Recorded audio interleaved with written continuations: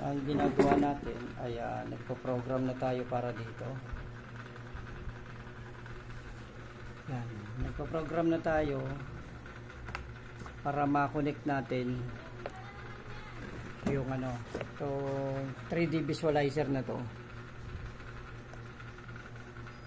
Ito, itong 3D visualizer na to na uh, Kanjikin Gold V9 radar uh, V6 radar ay mag-connect na dito sa Bluetooth. Pinoprogram na natin yung uh, uh, visualizer installer kasama yung Bluetooth connection. Galing dito papunta dito sa tablet. So ito na siya. Uh, fresh na press. Ayan yung logo ko sa ano sa YouTube channel ko. Kanjikin tsaka dun sa aking ano uh, Facebook page, yung Kanjikin, ito yung logo kulay pula. Kulay pula yung background niya. Tapos yung pinaka kin, yung uh, salita sa kanji na kin, yung ginto, yan. Ay kulay gold talaga siya. So ayan siya maya maya uh, after natin ma-program yan yan so para malapad makita nyo pinoprogram natin. Pinoprogram yung bluetooth. Galing dito sa ating uh, ah, 3D visualizer scanner na to na AKS locator na rin to. O ayan, nun yung kabitan ng handle at dito yung dalawang antena. Ito yung sa gitna, ito yung uh, sensor for 3D visualizer. Ito yung pinaka-antena ng ano. Ito yung pinaka-antena ng uh, ah, 3D visualizer. Yan, i-connect natin dyan.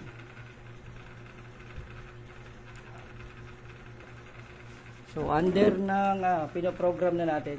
Uh, medyo may katagalan lang yan matapos.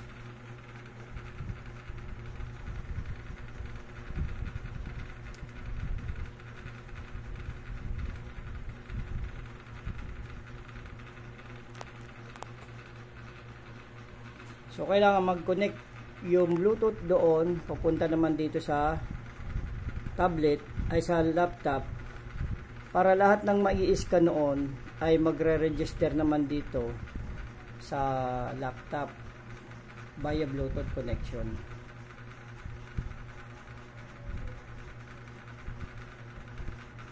So mamaya i-actual nating scanning itong loob ng bahay kasi dito eh, nagpahukay ako dito ng 45 feet dati. At ginawa ko nga lang uh, puso negro dahil nag-alisan yung mga kasama ko eh. Natakot na sa lalim. Eh, nangailangan dito sa lugar namin na uh, kailangan magkaroon ng puso negro. Kaya ginawa ko na lang siyang puso negro. So, yun yung pusa ko. Talap buhay.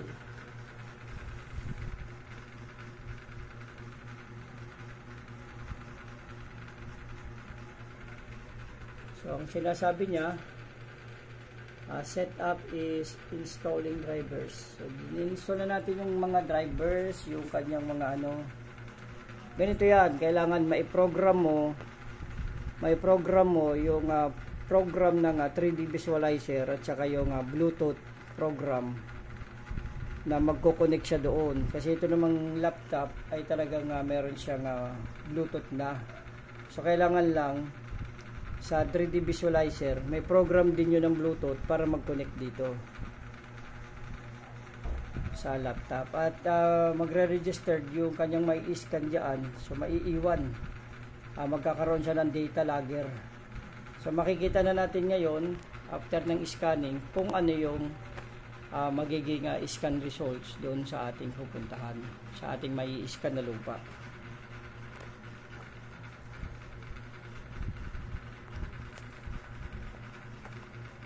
Kung ito ay maganda ang ano ang uh, results sa ngayon ito ay uh, open sa market na 65,000 ito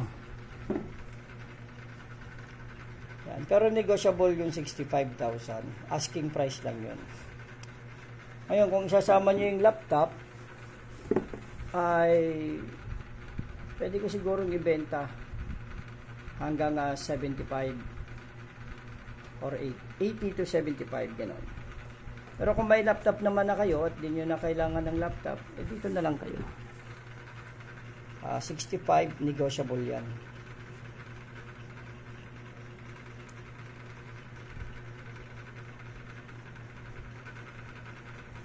Siyempre, aabangan nyo pa yan kung maganda ang results. Kapag ka positive yung mga makukuha niyan, kahit gaano kamahal siguro yan, bibilihin nyo yan. Dahil ang daming naglalaba sa mga scanner na napakamamahal. Hindi ko lang alam kung ah, may nakukuha. Siyempre, pag may nakuha, hindi naman nila ibimedya na yan. For security reasons yan.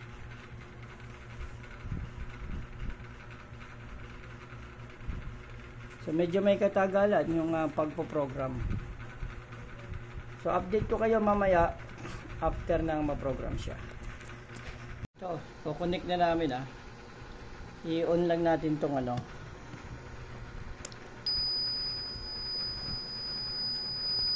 Tapos hintayin natin pumasok. Pasok tayo sa ano scanning yan nasa scanning. Click ko itong scan. Okay so ito na ngayon. Itatry na natin gamitin dito sa aming target. Halimbawa dito kasi may hukay ako dito ano, uh, 22 feet. Sa ilalim yan nasa second floor tayo. Tingnan natin kung ano kung mag kukunik na sa cellphone. Nagkukunik na? Yung sa akin, pag okay na yung miss ka na.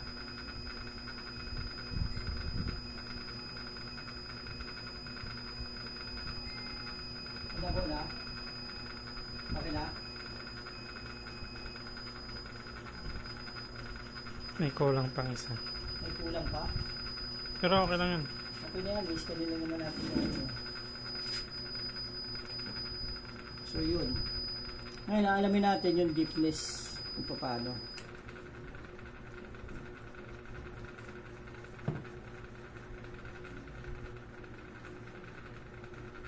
Kung gaano kalalim yung na-scan.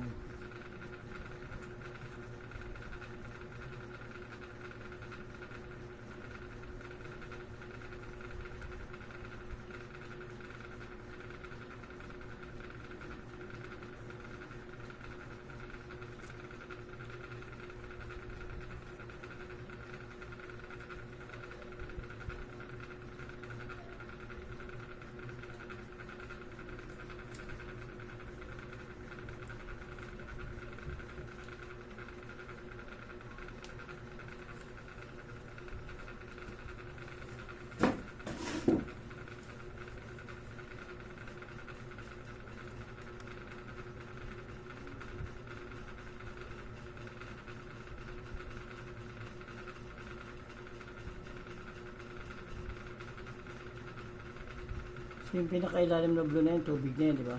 Hmm. Doon yung taas may mga dilaw na yan. Kung ano yan. Gaano kalalim yung last. Ta. Ito, ito, ito. Dulo ng, makin ng madilaw.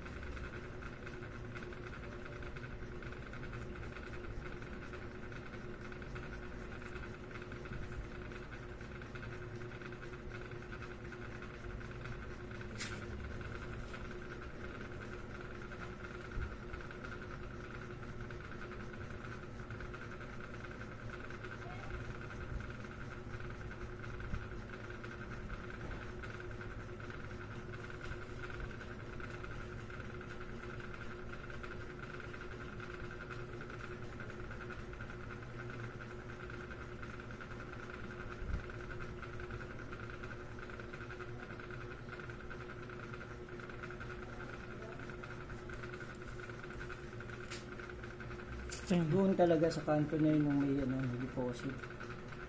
Dito ako nag-scan kanina sa gitna, puro tubig eh.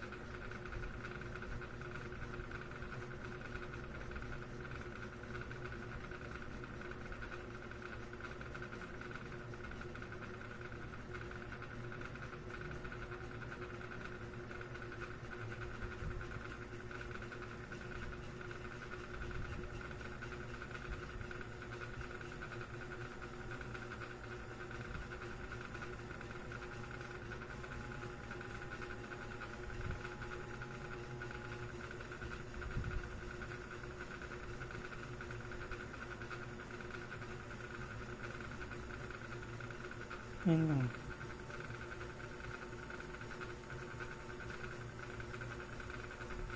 Yun, target na. Kalalim pinakamalalim?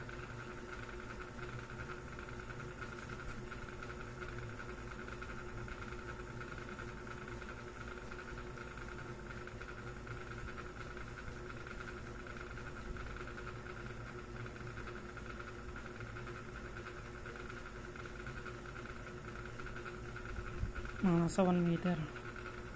Ayun. Sumusobra kasi.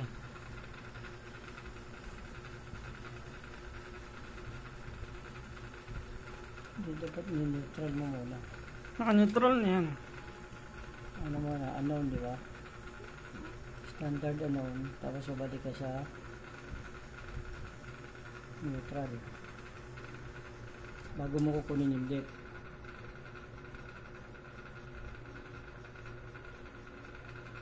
Nasaan na yun? Pababa. Ito. Ah, ito.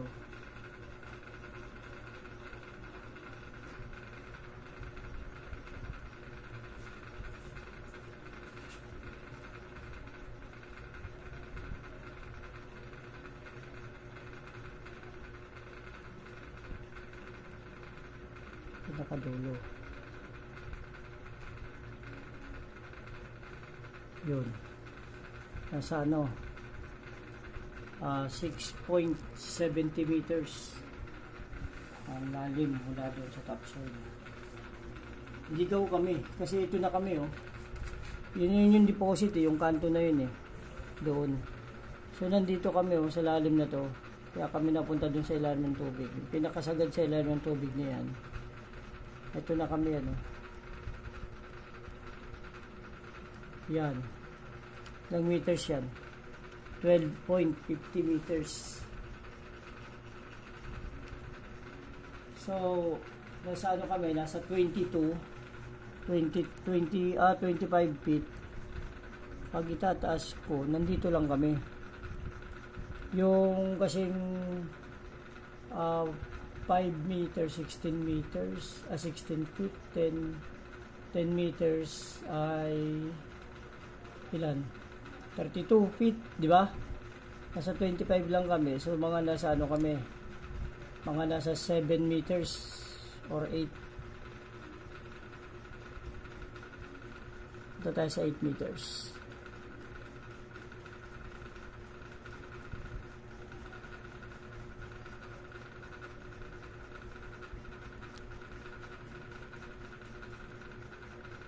Yun. Diyan pa lang yung blue na yan, yan pa rin yung nababasag namin. Eh. Tapos tumubig na. Yung pala, andun pala sa kanto yung deposit na isa. Tapos dito yung malaki sa kabila.